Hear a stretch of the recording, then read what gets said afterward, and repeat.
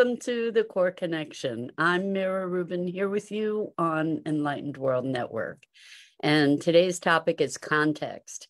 And uh, what we're going to talk about is how context shapes our experience and how we can utilize context as a tool to um, redirect, redefine, expand, grow, all kinds of things like that. We often use context to limit ourselves, but we're going to look at the other side of this whole picture here.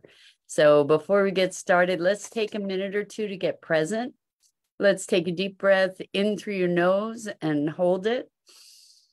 And imagine clean, crisp oxygen flooding into your lungs, flowing into your bloodstream, nourishing all your cells, all your organs, bringing vital life, energy to your body and being. And as you exhale, exhale any tension, stress, negativity, fatigue.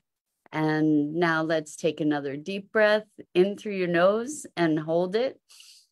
This time, imagine brilliant bright light lighting you up from the inside out, illuminating, electrifying, and energizing all your cells, your molecules, your electrons, creating a brilliant beam of light from your heart out into the world.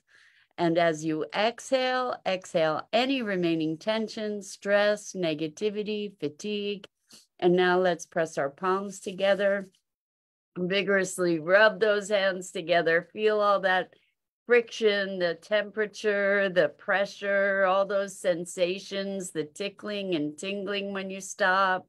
And allow all those sensations to bring you present right here, right now, into this remarkable physical form that enables you to experience life. Welcome, welcome, welcome. Good morning. It's so good to be here with you this morning. So, um, we're talking about context. And um, I've been taking a course called the Regenerative Practitioner Series from an organization called Regenesis and um, it's very very very much about re-educating context. And what i mean by that is when we look at a project and we want to create good morning rosalind. Welcome. So good to have you here with us this morning. Um, we are talking about context. So i'm taking this course and in order for it, it's from uh, good morning, Jenny. Wonderful to have you here with us this morning, sweetheart. So um, let's talk about context, and and I'm just going to give an example. Um, this regenerative practitioner series is is um, or training is about creating regenerative projects, and it's been a total re-education for me because when hey, good morning good morning gia welcome it's great to have you here. We're talking about context. So i'm talking about this course that i'm taking from an organization called regenesis. It's uh, the regenerative practitioner series. Um, and um, it is very much about context. So Jenny, you ask a really good question. Is it is that perception?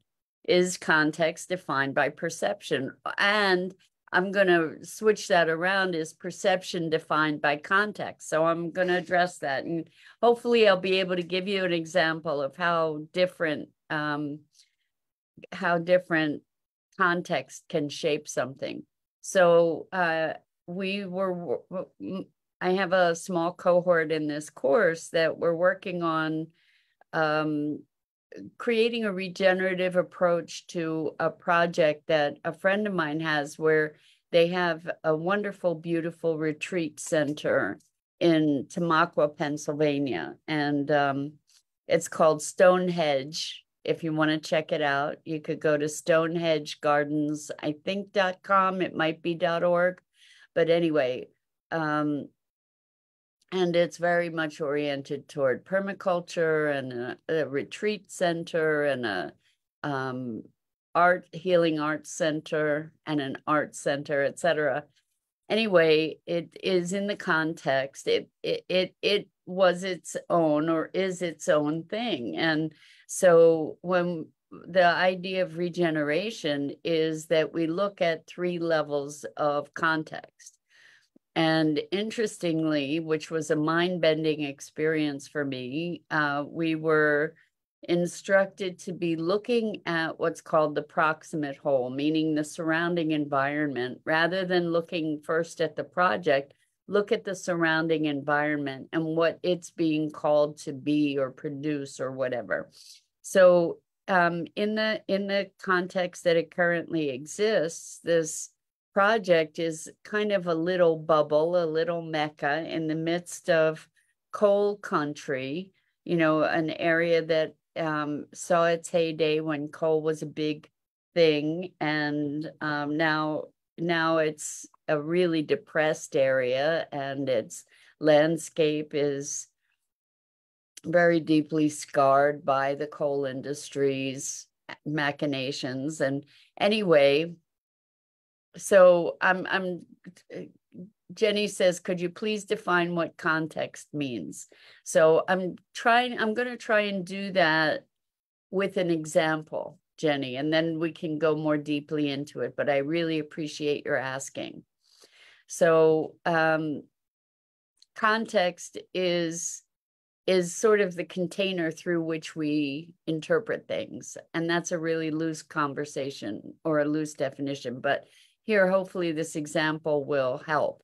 So um, the the original context for this project was to um, to perpetuate the vision of this spiritual arts, nature-based healing center, art center that had been started 50 years ago, and to create programming and and um, and events and such that brought people from very different kinds of backgrounds together, right? So, um, in this regenerative thing, we were encouraged to be looking at the the container, the proximate whole. In other words, we were shifting context from this project that was its own entity that happened to be in this place to looking at the place as the context within which this project existed. And to look at that place in the context of an even bigger whole a bigger context to say well what what is this place the town tamaqua? And what is its relationship to a, an even more expansive and even bigger context. So the question is like, how do we define that context? What is it going to be? And um, so in looking at it, I was looking at, well, what is Tamaqua? And Tamaqua has a, a rich history of being a hub of um, industry because it was the center of this coal country, anthracite coal country in Pennsylvania. And um, as a result of that, it, it was a place where there were a number of firsts, uh, like the first railroad uh, steam engine, I think, it, uh, in, I don't know if it was in the entire country, but in Pennsylvania, I think, and the first uh, fishery, um, you know, a, a I'm sorry, a hatchery for fish, the first place in the country, in the world actually, to legislate um, rights of nature. You know, so there's a lot of firsts, and we were looking at what is Tamaqua to sort of create a context, a container through which to view this project. Well, and and then looking at Tamaqua in, in the larger region and and I'm playing with the notion of the larger region, the context being coal country. And so if we look at Tamaqua as part of coal country and we look at this regenerative project, this project that's trying to um, to really create change in in um, our relationship to the planet and our relationship to each other and nature and and rehabilitating um, nature, etc., what emerged is the potential for Tamaqua to be sort of a center of rehabilitation and vision for for um, restoring coal country, restoring the damage that was done through all this coal industry to the natural landscape, to environment. Um, so Jenny says down the rabbit hole to understand why wider complex perception. Yes, yeah, this is so context is is defining the boundaries of our understanding. So by shifting the notion of this project the context from this self-contained thing to being in relationship with its surroundings and being an a reciprocal um, uh, contribute contributor to its surroundings and enabling its surroundings to be part of what it is, the context expanded radically and the potential for the vision of the project also of a sudden gained a greater importance, a greater meaning, a greater possibility. Exactly, Jenny says, opening limiting beliefs. Exactly. So um what what has happened in my mind around this is that the potential for the project, rather than being this sort of isolated little bubble that was beautiful and had all kinds of wonderful intentions, to expand it into maybe being a catalyst or a or a hub place for rehabilitating coal country you know, it's like the context just sort of exploded into something much more grand, much more possible that would be aligning a, a much greater um, community of people and galvanizing a hope and a vision that is so much bigger than the original thought. So Rosalind says, akin to a company putting their motto or mission statement on their homepage website. Um, I'm not sure. I'm not sure where you're making that connection. However, what I can say about the motto or mission statement is that it's a whole different thing to say that our company is going to be equitable and and fair and uh, be committed to social justice, that's a whole different context because it's confined to the company to saying our company has a mission of transforming business to be a place of equitable inclusion and allowing themselves as that business to be outreaching and modeling and interacting and collaborating with other businesses to create this bigger vision, this bigger context, a more integrated context in the world rather than being confined to their own um, their own entity. So Rosalind says context being a conceptual model. Exactly, exactly. Okay. So context is a conceptual model. That's a great place to start.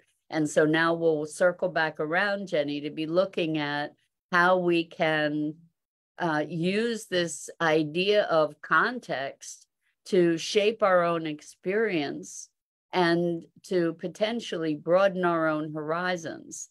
So um, when we can take it into something as simple as, let's say, giving, feeding our child before going to school you know, putting breakfast on the table. Um, we when we're in the when we're engaged in the action of putting breakfast on the table, that we're engaged in the doingness of it, right? We're we're concerned about getting all the food ready, setting the place, making sure the kid is sitting there and eating, you know, putting the food on the table actually is one context. Then when we say, when we recognize a greater context of why are we putting food on the table, we're wanting to create nourishment and support and nurturance for the people that we are providing that food to then that creates a different context because if it were just putting food on the table, we might be rushing, rushing, rushing, getting the food on the table, throwing, slopping the food down, and you know, then we're done versus creating nourishment and nurturance. There's going to be a whole different attitude about preparing that food, about serving that food, about presencing ourselves to the person that is there to consume that food it will change our shift our way of being in the context of relationship right? So we have a, a different level a higher level of relatedness and relationship when we recognize that the context is nourishment and vitality and creating life then we realize it's not just about getting the food on the table, but that there's a quality of being that we bring to the circumstance that is different, that is of a higher order than if we were just getting the food on the table. Does that make sense? So we're creating a context is also a container for meaning and and for our behavior so if we and we've talked about this a bunch uh, that one of the the foundational hypotheses that I operate from, which has really been life saving and life altering for me, is life is happening for me and through me rather than to me. And so that that hypothesis or that operating statement creates a very different context from I live in a hostile universe. Right? Or or um well, let's just stick with that. You know, if I live in a hostile universe, that is a context through which I'm going to interpret everything. You know, somebody looks at me sideways, I'm going to presume that they're out to get me, right?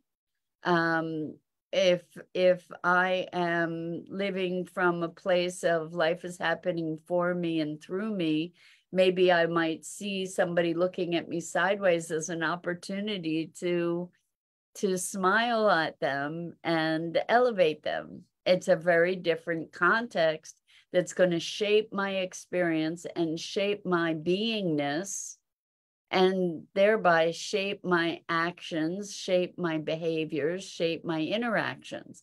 So Jenny says, ah, I think in outer space, I think that in outer space is constantly expanding, discovering other livable Earth planets outside the solar system and opening possibility uh, that uh, other life forms exist. Well, you could, you know what? I love it. We'll use that as an analogy. So when we recognize that it's an expansive universe, if we dif- if we look at the an expansive unbounded universe, then it makes total sense that other life forms exist you know, because it's if it's unbounded, then that leaves the place for all kind all possibilities, right? So of course other life forms would exist. It's just a given. It's just a given in that context, right? And we may not have discovered them or we may not have been able to recognize them. You know, then we get to look at, well, what's the definition of life? Right? What's the context within which we're looking for life? So, really, everything is defined by context. And we have the capacity to redefine our contexts And in that redefinition, to create a greater expansiveness of being, of our, our essential expression, right? Like if I, if my context for how life is, is that I am ineffectual and powerless, then I'm not going to try to impact my environment. I'm not going to take action in the face of change that I want to see happen, right? If I believe that everybody makes a difference and that my voice matters, I'm going to be more likely to speak up or to find places where I can take action. You know, if I believe that um, that I get to be the change I want to see, you know, if I believe that being the change I want to see makes a difference, that's a context then I'm going to step up and act very differently from if I believe that there's nothing I can do about anything anyway. You get it? So, context. Um, in our families, let's say we might have a um, dysfunctional family, we could see ourselves as a victim of it or the context could be I'm a vehicle for healing this family. You know, um, and so also on the on the dark side of that notion is uh healer people tend to martyr themselves in certain ways because they believe that they're the one that can heal things. You know i i encounter lots of folks who believe you know like saving the world is my responsibility. And and i believe that saving the world is my responsibility but it's not my responsibility alone and so you know when we recognize that that there is a if we create a context of a union of many disparate spirits that have an intention toward um, creating a better life, then we can participate in that without bearing the entire burden, right? So um, Jenny says, I agree. Treat yourself like you matter, and people will treat you the way you treat yourself. Exactly. We we teach people how to interact with us. We create a context in which people relate with us, right? And um, our interpretations can flow from that context and we can create that context. So Rosalind says, What were the three ways to look at context? oh, I didn't know that there were three ways to look at context, but I love it. Um, emergent property. So there's like they there's an a context that we can sense as we sense into something, relationship or conditions that have effect, etc. So uh, context is something that we can shape that shapes us and that is also evolving, right? Context is not something that need be static. You know, it it can be alive and changing as situations and circumstances and perceptions and intentions change. So um, for instance, if we have a job as a teacher, being the teacher in the context of a classroom is very different from how we might be in the context of a grocery store. You know, like again, are we still a teacher in a grocery store?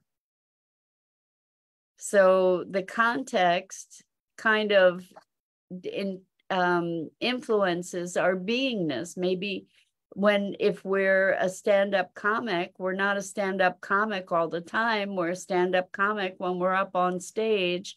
And the beingness of the stand-up comic aspect of ourselves is context defined. It's not going to be the same beingness that we have if we're at a funeral right?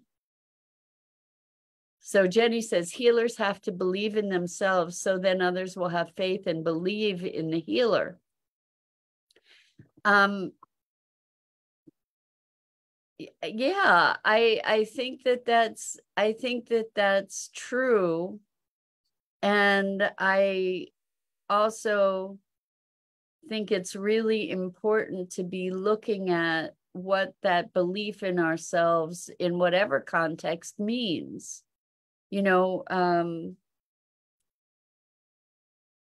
depending on how if we're moving from ego or we're moving from service there's a very diff- big difference in that and it's worthy of a longer conversation for sure jenny but i i agree that if i if I presence myself with the confidence and the and the clarity and the certainty as a healer, then then that in itself has power, uh, has healing power, for sure, for sure, and um, and it spurs confidence in the person who I'm working with, for sure. So beautiful point. And Rosalind says the example was the regenerative farm, how the model became, how the model came to be that model would be to restore the coal town.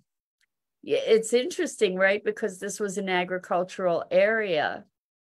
And it's not it's not just regenerative farming, but a regenerative project. So a regenerative project goes into not just being isolated because there's not that's not regenerative, but being connected to bigger wholes. And those, there's a reciprocity between these different levels of existing that feed each other and then become like a life affirming cycle that um, supports itself. So, so Jenny says, I agree with you on service versus ego around the healer and the confidence that a healer brings to service for sure.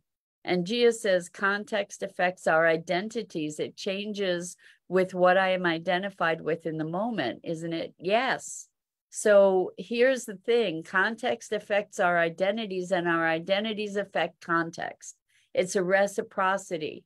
We get to, it, it's an evolutionary kind of thing. And the power in identifying and defining context is that we have the ability then to create another level, a higher order of being in ourselves as we create a greater context for our existence. So when we have a sense of purpose and a sense of mission and a clarity about that, then that changes our beingness.